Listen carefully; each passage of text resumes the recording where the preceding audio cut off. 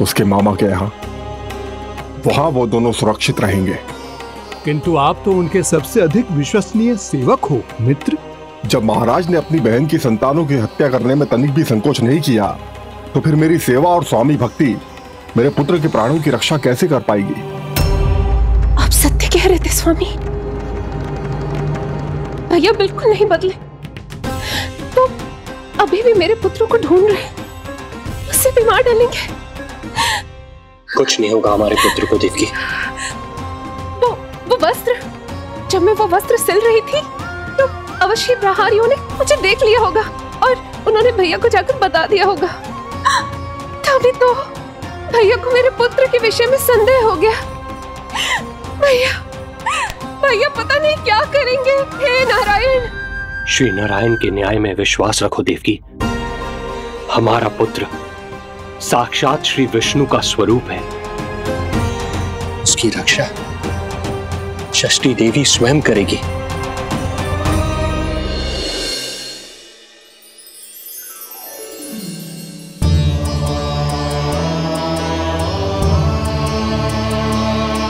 आ गए मधुमंगल पूर्णा मौसी के पोते होने के नाते तुम मुझे पहले से ही प्रिय हो, पर जो भूमिका तुम मेरे जीवन में निभाओगे, उसके कारण तुम्हारे प्रति मेरा प्रेम और भी अधिक बढ़ गया है। आओ मित्र, तुम्हारा सखा तुम्हारा स्वागत करता है।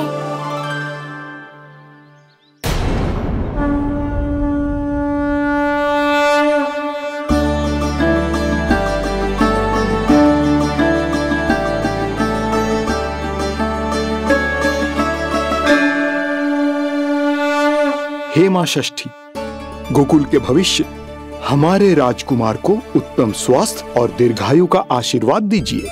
सभी संकटों से, बाधा व्याधि से, सदैव इसकी रक्षा करना माँ।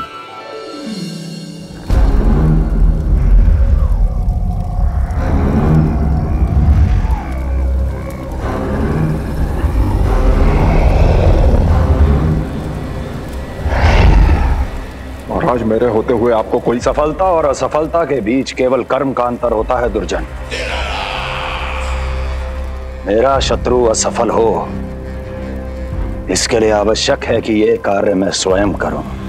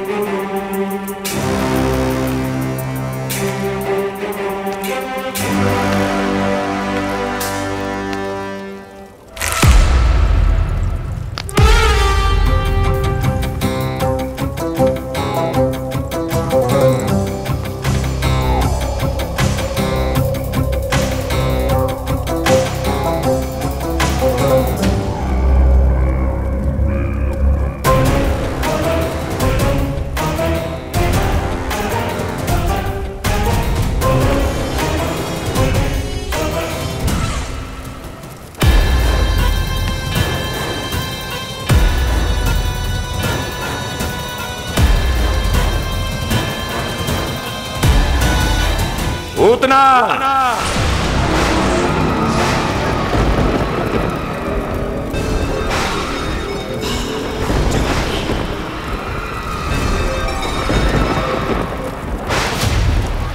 कंस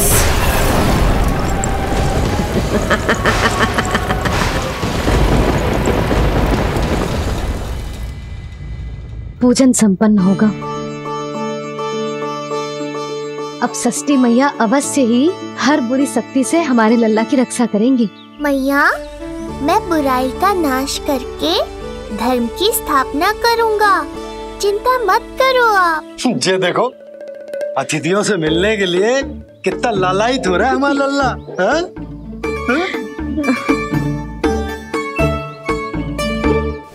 दसों दिशाओं में जिसके नाम का डंका बजता है वो महान मथुराधिपति आज मेरे साधारण से आवास पर? अवश्य ही कोई विशेष कारण होगा। कारण है, वो कार्य जो तुम्हें मेरे लिए करना है।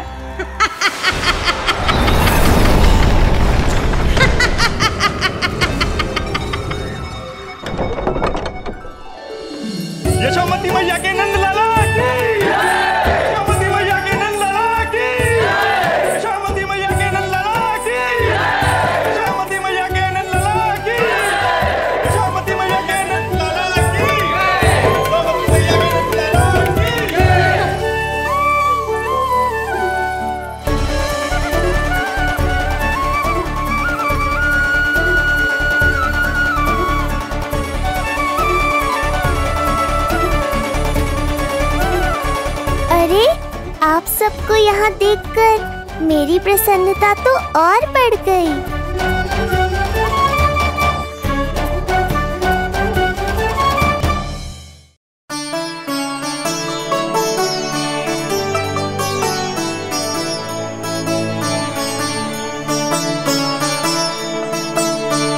इतने आश्चर्यचकित मत हो, मधुमंगल। तुम विशेष हो। क्योंकि जितने धर्मपरायण तुम हो, उतना कोई नहीं। तभी तो तुम देवताओं के दर्शन भी कर सकते हो। पर तुम्हारी दादी कहाँ है, मधु? मेरा उनसे मिलने का बहुत मन है।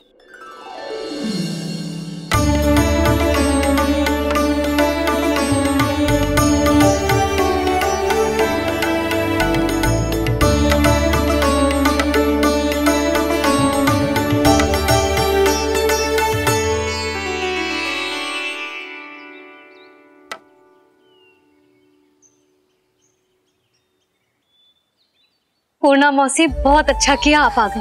सच्ची। ये तो वही पुण्य आत्मा है पुण्य मौसी जिन्होंने भविष्यवाणी की थी कि जिज्जी के लल्ला होगो तब लगो कि ब्याह के इतने बरसों के बाद ऐसा होना असंभव है। किंतु आज देखो। हाँ पूर्णा मौसी आपकी कही बात सच निकली। ये देखो मेरा लल्ला।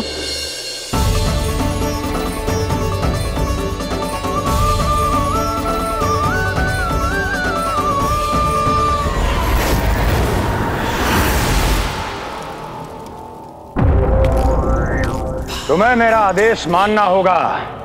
महाराज हूँ मैं तुम्हारा। यदि तुमने ऐसा ना किया तो परिणाम क्या हो सकता है ज्ञात है ना? मैं तुम्हारे भी प्राण ले सकता हूँ। नवजात शिशुओं की हत्या करना, तुम्हें भी प्रिय है ना पूतना? नवजात शिशु?